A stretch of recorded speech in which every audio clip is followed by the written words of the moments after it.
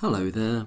I thought I'd just do a short video in relation to the the door data that was uh, that's become an issue in relation to the whole of last year's trial, but came up in this this year's trial for the what turned out to be the retrial of the attempted murder baby K case, um, in which it was acknowledged by the CPS that the door data was incorrect. There seems to be some confusion over this. If I've if I've understood that the confusion correctly, as it were, that that some people are saying what happened is that um, it was a one-way door in relation to the baby K case, and that the CPS had noted times in which people were entering and then transposed them into times in which people were leaving. Obviously, that's incorrect. And the door in question, and I've got, as you'll see, I put the the um, picture up of the unit.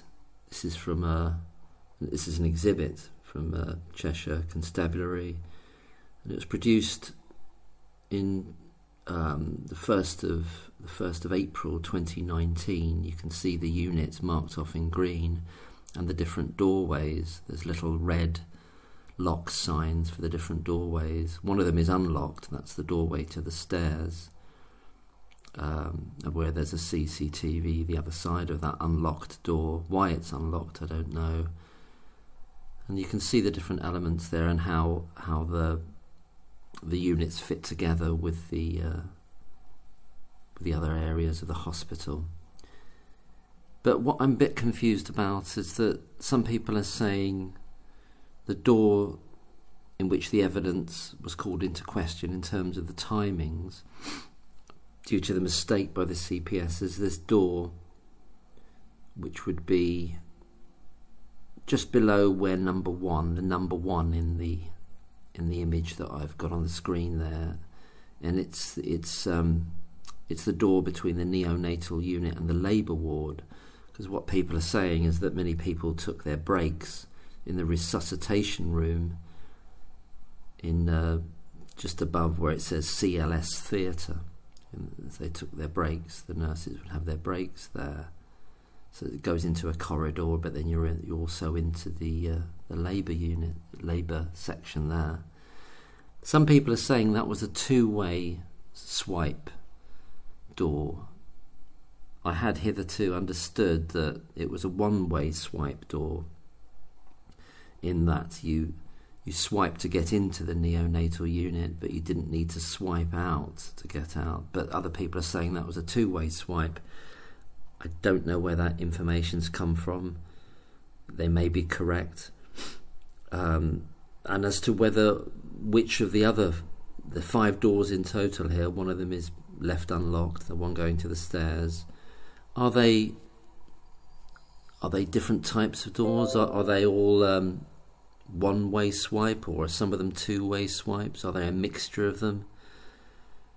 I think that's important to know if that door to the labour unit is the, the door in question in relation to the retrial of baby K, is that what's happened that they transposed the data based on um, assuming that people that, that people uh, coming into the unit were actually people going out, and that was the mistake that was made? Or did they do it two ways round if it's a swipe in and a swipe out door?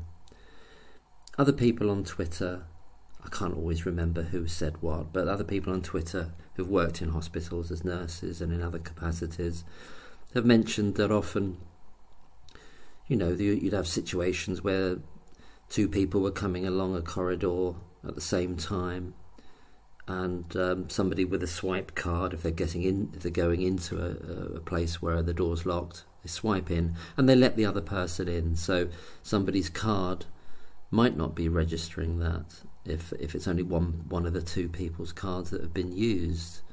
So that's an interesting point. And there's another p- potential for people to borrow other people's cards to swipe in and out.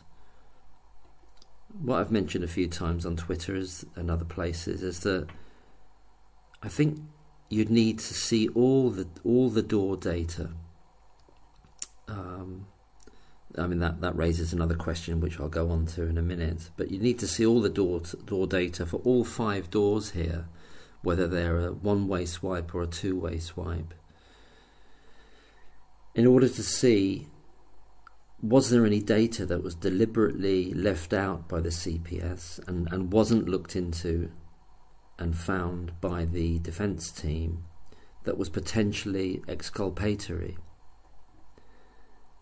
Is that possible? We don't know. Um, I've sent a Freedom of Information request to the Countess of Chester Hospital in relation to and I say, you know, as I said, this map is from 2019.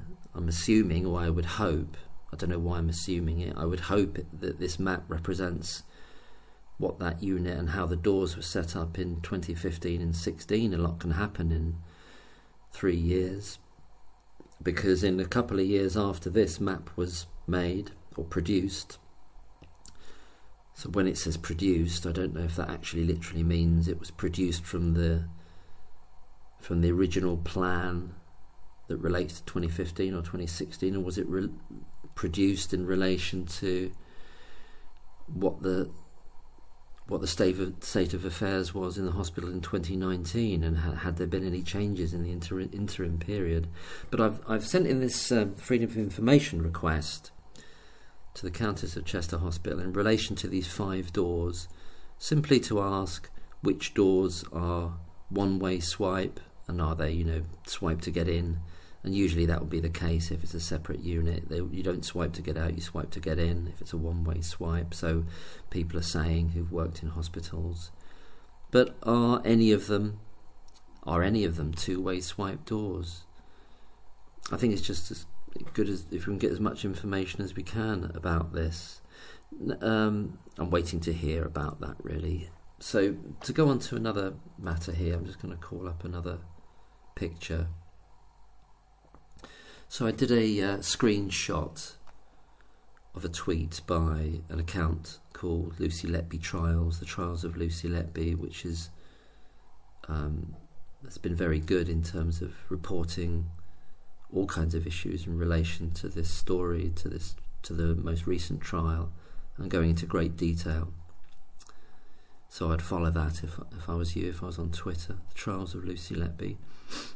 I'll just read this out here, and it's got a big red circle, and it says scoop. Scoop. There were three months of door swipe data missing from Lucy Letby's original trial. So that's the trial in 2023. Prosecutors failed to turn over door swipe data to the defence for the period between the 17th of July and the 22nd of October 2015. Neither the defence nor the prosecution disputed the fact that the three months of swipe data records in question were missing. It was an agreed fact at the trial and was also referenced by Judge Goss in his summing up of the case to the jury. The months for which swipe data was not produced at trial encompass the seven counts related to babies E through H, so that's E to H. The jury convicted Lucy Letby on four of those counts. The missing evidence, defence barrister Ben Myers told the jury, disadvantaged Lucy Letby as a defendant in key ways. It precluded Lucy Letby from proving where she was and wasn't on several of the occasions for which prosecutors accused her of wrongdoing. It prevented her defence from showing where other witnesses were at relevant times, and it made it impossible for Lucy Letby to refute several of the prosecution's accusations that she had lied about her whereabouts or falsified her notes. And it says at the bottom, all credit due to, and there's another account, which is also a very good account on Twitter or X, at Rex versus Lucy Letby, at Rex versus Lucy Letby, who sent me a valuable tip. I mention them here with permission. So that's a very interesting tweet regarding this missing door swipe data over a very important section of time there. And I, I noticed in reply to this, to have a, a sip of coffee. I noticed in reply to this that the the final date, the final day of the missing door swipe data, 22nd of October 2015, is exactly one day before the sad death of child I, which happens on the 23rd of October 2015. I'm not sure what we can infer from that, but it just seems Perhaps it's a coincidence, perhaps it's not, perhaps it means something. Now, whether this data does exist somewhere, um, I saw a tweet today in which somebody said that they'd read somewhere that the hospital didn't keep or didn't record or didn't keep that data, i.e., it's not, it can't be gotten anymore, it, it, it doesn't exist anymore. Now, why would that have happened? Is it an accident? Is it deliberate? If that is the case, is that the case? Is the data still available? Um, it would seem that the prosecution is stating that they've not had sight of that data, and yet they're making all sorts of presumptions in relations to the cases of babies E through H, as the Trials of Lucy Letby account says here in which they're using timings about where Lucy's supposed to be and where other people supposed to be or, or, or supposed to not be, and yet there isn't any door data to back it up. Just to go over an earlier point, um, the door data is really about those door swipe cards, isn't it? And it's it's not hundred percent reliable to say. You could have a bit of data saying a card with somebody's name on has gone in or gone out of a certain door, but it might not necessarily be the person. We can only say with any certainty that it's the card that has done that, that has then been recorded. Somebody else might have borrowed the card.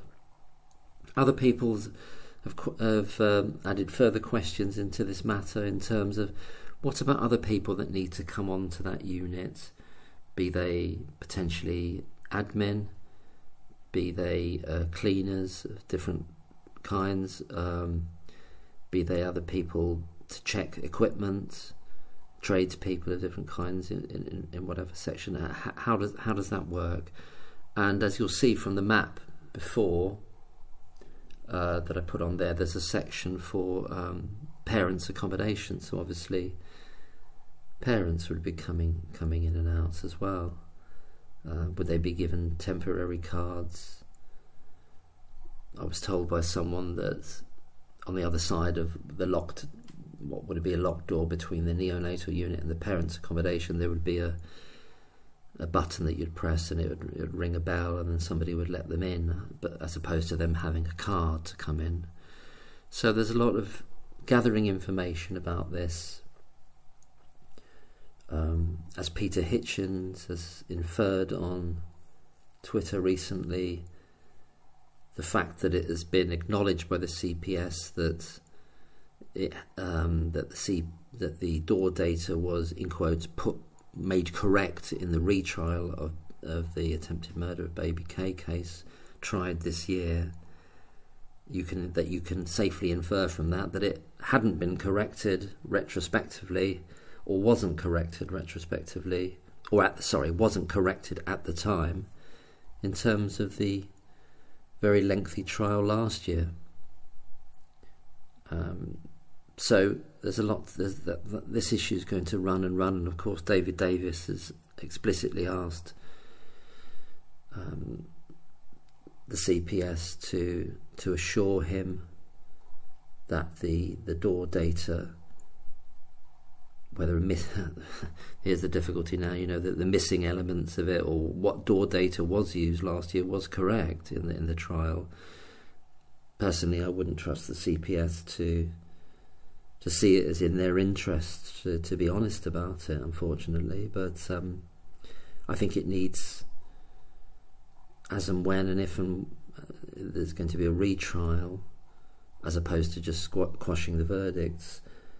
I think you simply need a different defence team to have all that data there and just go over all of it from from the beginning to the end and not rely on the CPS's version of the data that they collected.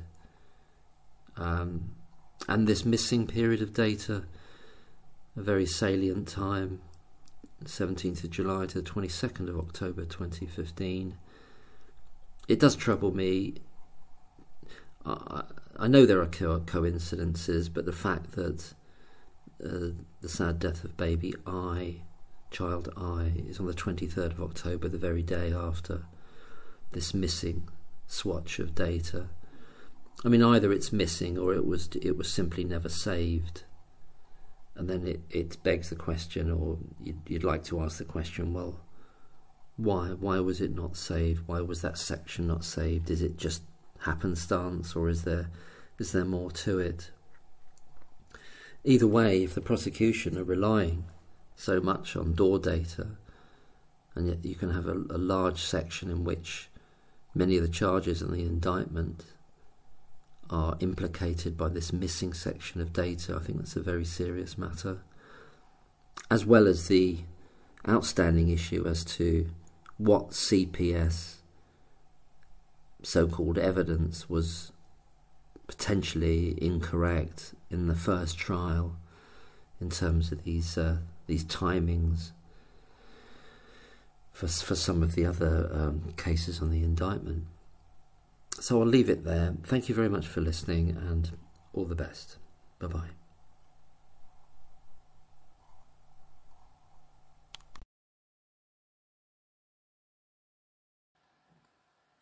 Hello there, just a very short addendum to that video there. Around 6 minutes 30 I mentioned that a lot can change in a few years um, in this hospital setting and when, I, when I'm talking about the date of the map that's being used here as being 2019 and it's in relation to events that happened in 2015 stroke 2016 I didn't finish off my point I went on to another point but what I wanted to continue saying was that by 2021 so a couple of years after that uh, diagram was produced whatever date it was actually based on as it were um, that unit all the old rooms there were no longer being used as neonatal rooms, and we know that from the video that's available, which is dated September 2021, in which all those old rooms are all, they look like they're kind of, expression that comes to mind is like they're mothballed, they're kind of, they're not being used, uh, because what's happened in the intervening period between 2019 or 2021, or at some point, in that intervening period between when they were being used is that other rooms were built on, it was extended, I believe the building was extended, and that new rooms were were being used as the the new level one neonatal units, and those all those old rooms were sort of sort of either empty or sort of used for storage, and you can see that in the video in 2021. What the current status is of those spaces, those rooms, I don't know. Um, and um, the longer term plan, well, the plan for 2025 is to have a new, completely new, uh, completely new units, uh, a mother and child unit, which is, um, you know, they spent a lot of money on, and that's due to be opening in 2025. And I think on a different, slightly different part of the hospital site. So I just wanted to add that. Um, in terms of what can change over a short period of time, but you know what uh, it's, it's just in relation to the actual details about which doors were where and when. But we've obviously got this ongoing issue about door data. What what, if any, of it can be relied upon in terms of what the CPS produced as part of its prosecution case, and what indeed can any of it be relied upon in terms of what was given to the CPS and whether certain, we know this so called missing period, but Are there is there other data out there that is not so much missing? It just simply wasn't used by the CPS for the prosecution case, and nor and perhaps nor was it looked at or looked into by the defence team in terms of potential exculpatory evidence. If that is the case, and it's just a supposition at the moment, it's it would be on the same basis, the same modus operandi as what they did with all the other deaths and crashes on that unit over those full two years. In other words, they they only picked certain of them to decide to show the jury about. Um, because they'd uh, reframed them as crimes, you see, but they'd left all these other ones out and the all these other deaths and crashes, and, we, and the jury didn't get to know about any of those in order to contextualise what they were seeing in the court. So that's another that's another huge issue.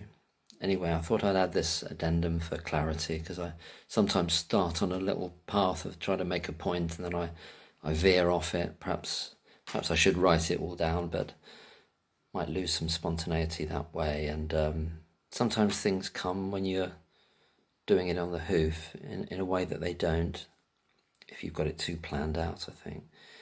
But thanks very much for listening and uh, best wishes. Thank you. Bye bye.